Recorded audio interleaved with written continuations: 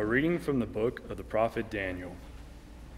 King Nebuchadnezzar said, Is it true, Shadrach, Meshach, and Abednego, that you will not serve my God, or worship the golden statue that I set up? Be ready now to fall down and worship the statue I had made. Whenever you hear the sound of the trumpet, flute, lyre, harp, psaltery, bagpipe, and all the other musical instruments. Otherwise, you shall be instantly cast into the white hot furnace. And who is the God who can deliver you out of my hands? Shadrach, Meshach, and Abednego answered King Nebuchadnezzar There is no need for us to defend ourselves before you in this matter. If our God, whom we serve, can save us from the white hot furnace, from your hands, O king, may he save us. But even if he will not, know, O king, that we will not serve your God, or worship the golden statue that you set up.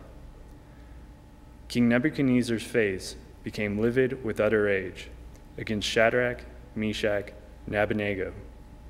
He ordered the furnace to be heated seven times more than usual, and had some of the strongest men in his army bind Shadrach, Meshach, and Abednego, and cast them into the white hot furnace.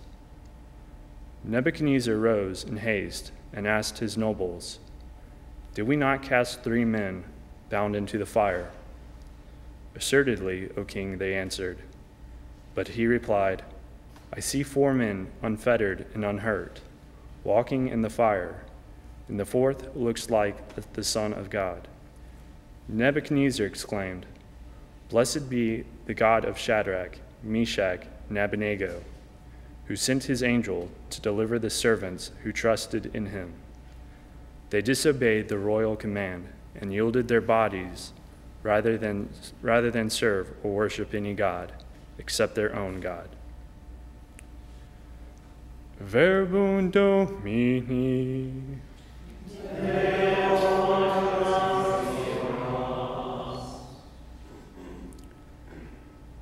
Glory and praise forever.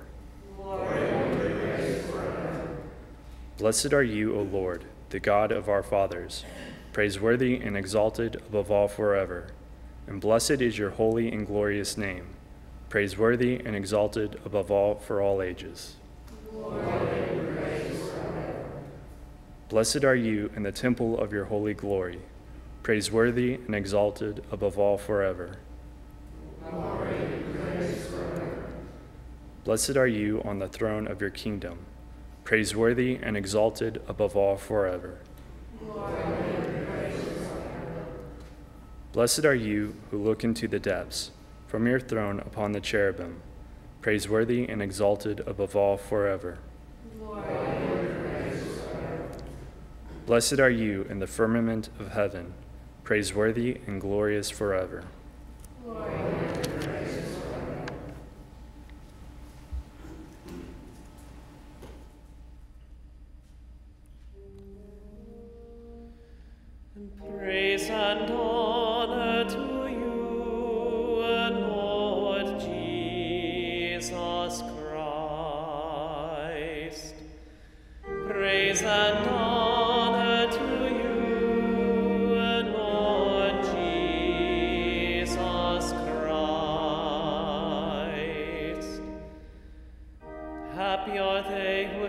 The word with a generous heart and yield a harvest through a perseverance. Praise and honor to you, Lord Jesus Christ. Dominus vobiscum.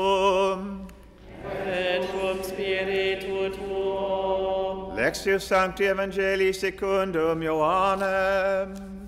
Gloria tibi, Domine.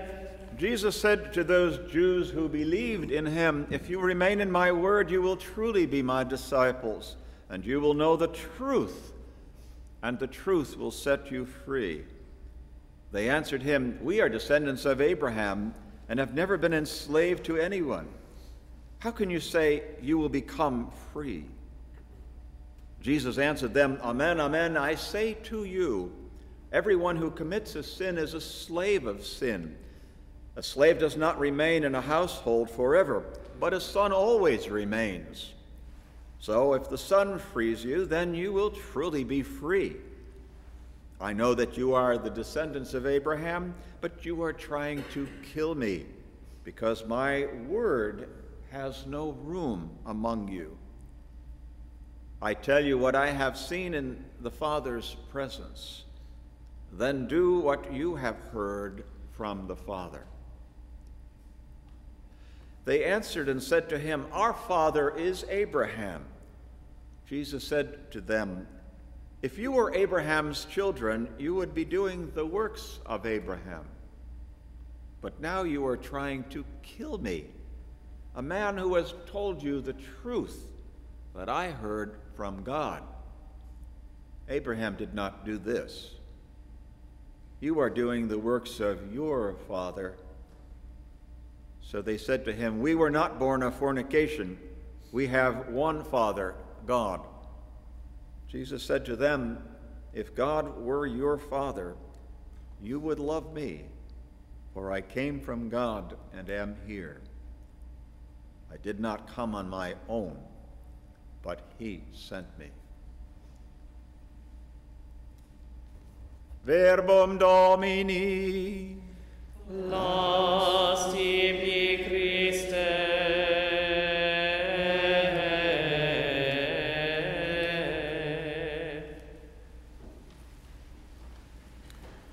Very powerful words in the gospel today. And we see this will be building up as the time of Lent reaches its climax and comes into Palm Sunday. But we'll get to that tomorrow. I want to look a little bit at the book of Daniel. The book of Daniel is one of the most intriguing of all the books of the Old Testament.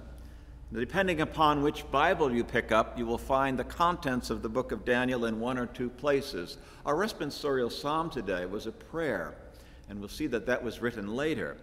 Because an earlier writing in Hebrew and Aramaic relates a series of heroic valor.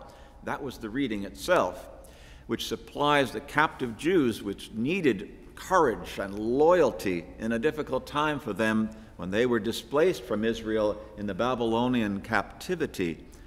Their whole nation was challenged by forced pagan idolatry. Sometime later, another author created several magnificent prayers, effectively embellishing the extract of the first reading today.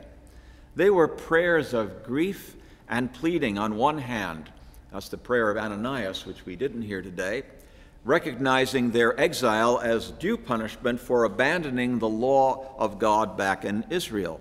And a second reading, which, second prayer rather, which came from that, uh, was extracted in the first uh, responsorial psalm today and is given on Sundays, praising God in all parts of nature, sung by the three men in today's story, while flames were flying all around them. We know this as the canticle of the three young men, found, as we heard, in the responsorial psalm as well as Sunday mornings. Blessed be the Lord, all you works of the Lord. Praise and exalt him forever and ever. And it goes on. It stands on its own as a poem of splendor, magnifying the Lord in the elements of sun and moon and ice and snow and rivers, mountains, old men and boys, young maidens, and so forth, all praising God. In fact, St. Francis of Assisi was influenced by it in his familiar Canticle of the Sun. And in the Catholic Bible, the two added prayers are inserted in the story line right at the point of today's reading. As such, they would greatly enhance the sacred drama, rising above fear to praise of God under the mantle of trust in Him. Now, the Jewish leaders went about determining which books early on that were to be accepted in their Bible. It was about the beginning of the second century. And one criterion then was that the text had to be located in Hebrew. Since many of the original Hebrew manuscripts were lost and only translated ones in Greek remained, this was the case of several books such as Maccabees 1 and 2, Esther, Ruth, and Esdras. Beautiful stories. Protestant and Hebrew renderings of the book of Daniel displace, therefore, the two prayers mentioned outside of the book of Daniel as secondary, yet revered. Eastern Orthodox and Catholic Bibles admit them with equal acceptance, and thus it depends on which Bible you pick up whether the prayers are separate from the book or inserted as they would be in these readings. Well, pinpointing the story itself, it is about a Jew, Daniel, who lived at the time of the forced deportation of the Jews to the Babylonian captivity or exile, five and a half centuries before Christ. The book is written much later, however. The name Daniel means God is truth. We saw that in the gospel, the whole message of truth that Jesus is speaking with. And that is what rings forth throughout this entire book truth and loyalty, and the gift of wisdom and courage, carving out a powerful storyline for people to dwell on and be edified by. And since these are most likely allegories, more like an everyman story, the personification of a nation rather than an individual, they impart a stirring moral message of great significance to the reader. Even today's reader, when we hear the valor of these men who are willing to die regardless of what their God will do for them. The book of Daniel was surely a constant companion of consolation, not just in the Babylonian exile for these people who had been displaced, but in the dispersion that followed after Jerusalem was leveled and Israel ceased to exist something which, remember, Jesus predicted. The first part deals with Daniel as a young lad among his friends named Hananiah, Mishael, and Azariah, trained in the court of the king. Now, those names we didn't hear today. Their names were changed, but the Hebrew names originally were those. Hananiah means God is gracious, Mishael means God provides, and Azariah that prayer that we didn't say today, but was also a beautiful part of this, uh, this reading, this uh, book, God has helped. All three of those are so appropriate graciousness, provision, and help that fit right into the pattern of what took place today in that reading, namely, their being saved from the, uh, the uh, furnace. All three denote specific power and grace. Power from God alone, nothing more needed, nothing less expected. It is that sort of trust that stamps the entire first part of the book. However, in today's readings, the author has them as Shadrach, Meshach, and Abednego. And Daniel himself is given the name Belteshazzar. Why? Well, these are actually the Babylonian names that were given to them to obliterate the memory and the power of the Hebrew God in the court of the tyrannical king Nebuchadnezzar. For in the name was power, and to remove that name and substitute it for something else would be a disaster. Some commentators say that these adopted names alluded to slaves of the Babylonian deities. The substitution from Hebrew to Babylon, therefore, is crucial here for it indicates a demonic sort of thing to the Hebrew reader.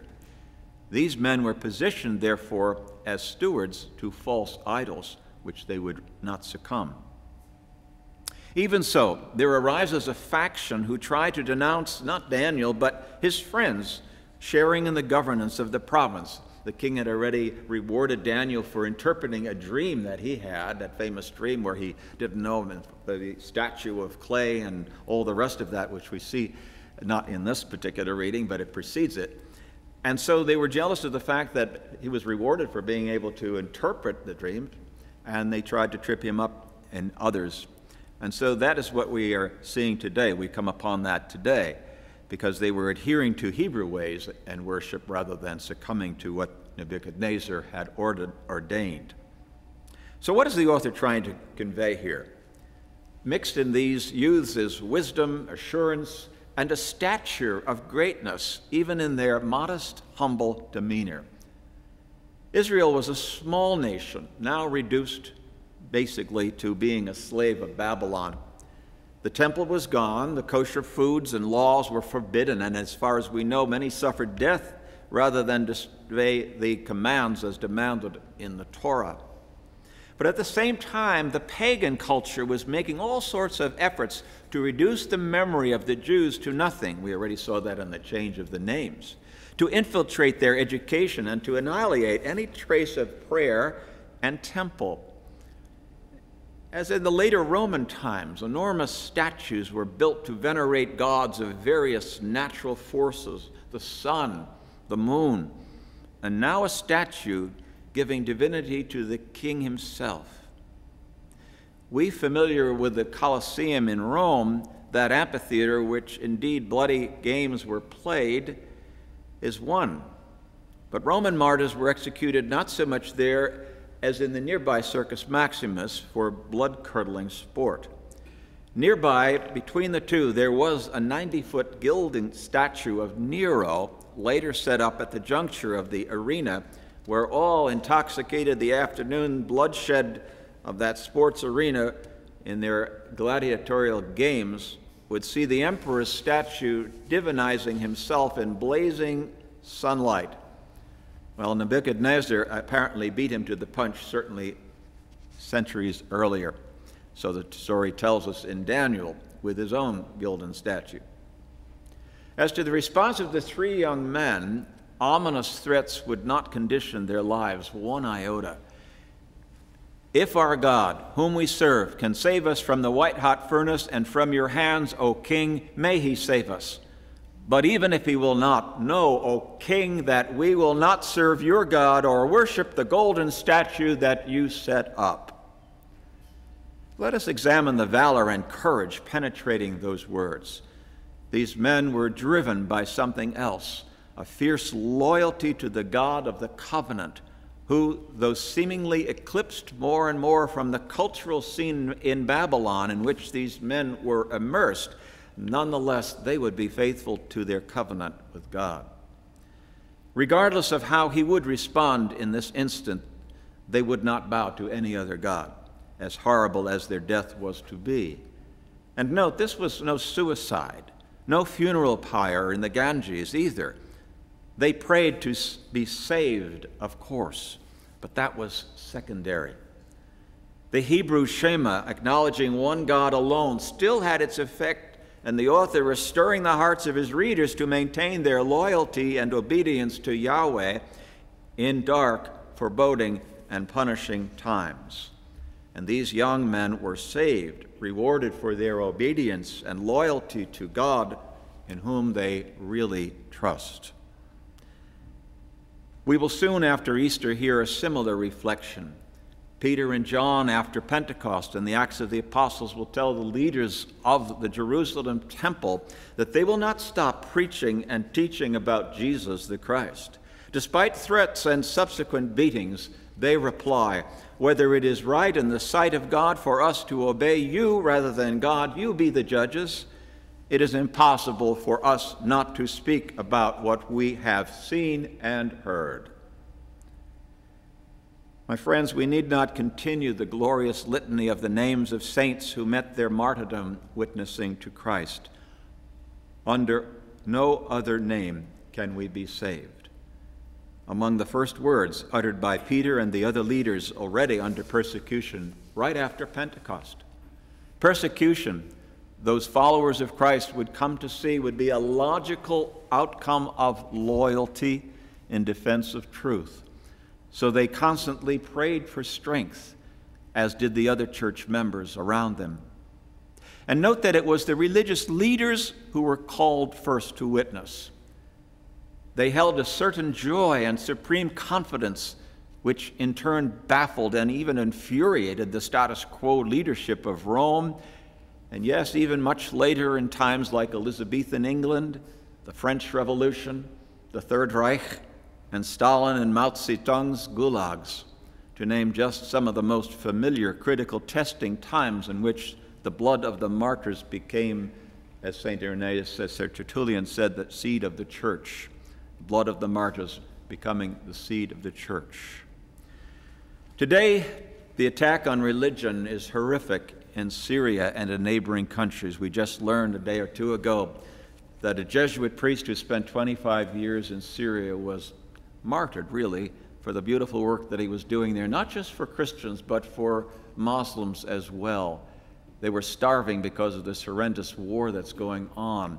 And he begged for more things, and they simply came in in the front of this church. He was attacked, and he was shot through the head twice after being beaten by them. Suffering continues in China, Myanmar, and various attacks on Christians, especially Catholics are meted out under the scimitar of Islam too horrific to describe here. The young men in the book of Daniel could have adopted to mere cultural changes, as could be said of all ages. That was not the issue. Offering incense, just a touch of it, was enough for Christians, supposedly at least, to be exempt from the scourge or the axe, the torch, or the lion's tooth under Caesar. But even that bit of incense would still violate the acknowledgement of one God and his Son. Under no other name can we be saved. My friends, today in the United States there is an attack against religion, and it is not always that subtle, though it is in the little chipping away in the courts, in the workplace, in the schools, big time, and often not directly attacking God as was the case of the ancients against Jesus Christ, or in the case of Nebuchadnezzar against Yahweh in the Old Testament, but somewhat obliquely it is done. Today it is not a frontal attack, Nero the Colossus, the statue, versus Jesus. But like the French Revolution's equality, fraternity, liberty as side swipes, as substitute statues, the Enlightenment in place of the God man, Jesus Christ. Under no other name can anyone be saved.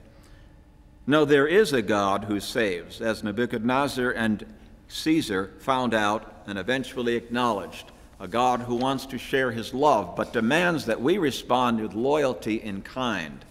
If you love me, keep my commandments. My friends, they are not suggestions, they are commandments.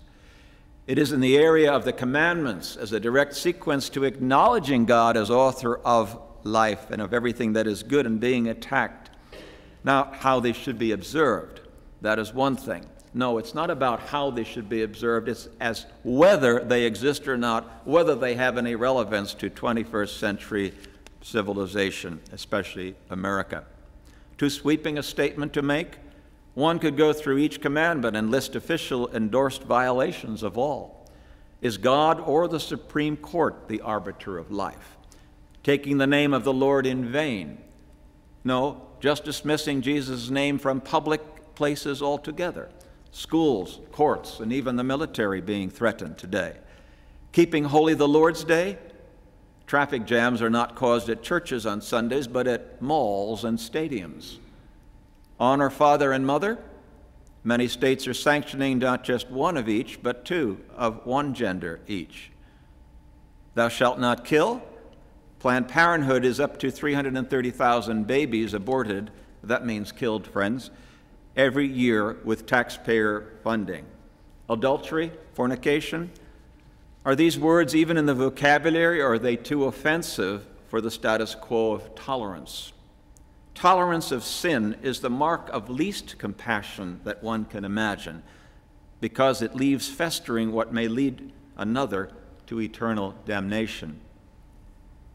And religious freedom is being attacked under the HHS mandate, Health and Human Service mandate, which has generated some 94 court suits from dioceses to individual church affiliated organizations.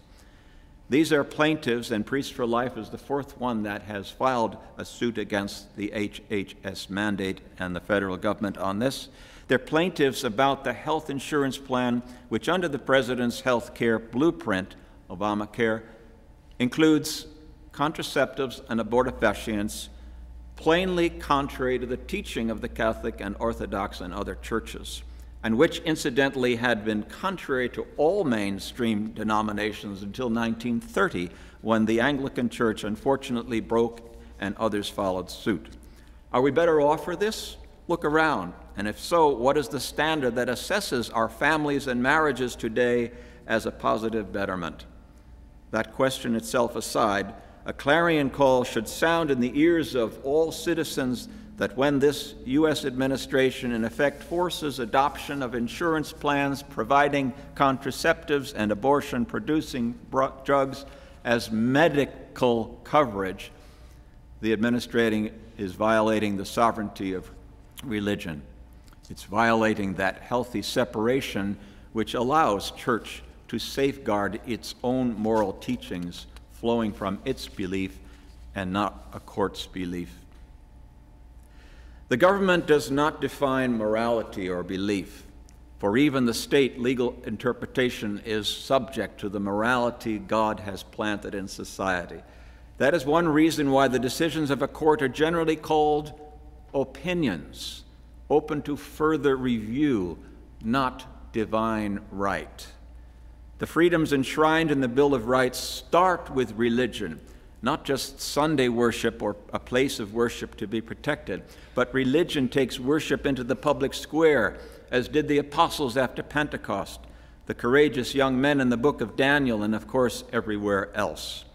Yes, Pentecost was celebrated not in an upper room, but in the streets, as Pope Francis is telling us to get out into the streets. And so the powerful explosion of the Holy Spirit was received, going, therefore, teach ye all nations. The Lord's last words Go, the Mass is ended, to take what you got here in spiritual nourishment and build out there. Friends, join thousands of people in offering prayers for the court's positive rejection of the HHS mandate, which compels an insurance policy gravely interfering with church teaching since its origins and would force penalties in the range, practically speaking, of $100 a day for each employee. That adds up quite quickly. Priests for Life will have its hearing on May the 8th in the federal court in Washington, D.C., and many others that you can follow as well. Please pray for all of these court cases. In a longer range of things, we look back to the courage of the three men about to be thrown into raging fire, or the martyrs, not because of their valor for faith. We do so because when religion is ta- attacked, when freedom of conscience is attacked by such mandates as in these cases now before the court, there is another point to be made. Rejection of religion breeds rejection of other rights. The communists under Lenin and Stalin and Mao and the Nazis under Hitler knew this very well. Silence the church, and it's easier to reshape thinking to fit totalitarian designs. That's already being worked out little by little in the machinations of the Babylonian conquerors of ancient Israel. There may be people in our nation who could care less about religious freedom being chipped away, but they ought to be wary because other rights then will fall very easily our speech and certainly our right to life, which is already encroached upon. For on what basis would the map of God's plan, as our founding fathers got it, ensure balance and justice were we to lose the anchoring of religion? The right to life is so basic that no other right can, in fact, flow from it if we're not given the right to live from the very outset of our existence in our mother's womb at conception. And yet, abortion is widespread, getting nearly the 60 million mark since the genie was let out of the bottle in Roe v. Wade, and that's just in this country alone. Since if religious liberty is not protected, the very reason why we should not permit killing itself is weakened, inasmuch as the relation between God's plan and our living it out is gravely threatened by government intrusions. We cannot tolerate this. We need to nip the intrusion in the bud. We need to pray each day for a fair and just, God fearing decision, an opinion to be rendered in the courts. The oral arguments, as I mentioned, is May 8th for us, and many others will follow upon that. Pray, please. And pray for the courage to stand up and be counted, ourselves and others, to give others the encouragement, never to be afraid to witness to Jesus Christ. Under no other name can anyone be saved. Especially when the threats become more dire and the heat goes up beyond the comfort zone. Especially then, we are called upon to be faithful. Like those three men, together we will not serve an alien God, nor a government which disregards the God of truth and life, for under no other name can anyone be saved. Praised be Jesus Christ, now and forever. Amen. In the name of the Father, and of the Son, and of the Holy Spirit.